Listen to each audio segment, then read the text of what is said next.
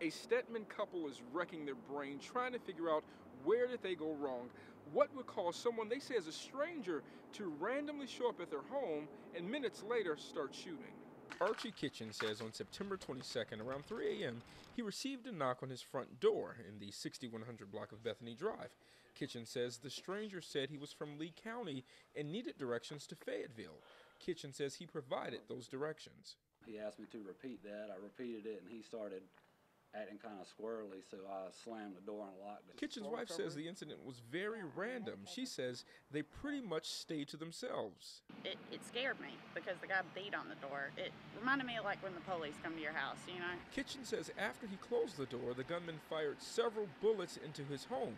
Kitchen was shot seven times and spent nearly 20 days in the there. hospital. I have two bullets through the abdomen, one which got my intestines, and uh, one collapsed my lung. And I have uh, a through and through on my inner thigh on this side, which clipped the artery. Kitchen is a tattoo artist, and prior to the shooting, he says life was going well. In fact, he was working on opening his own tattoo parlor. Now, everything has shifted.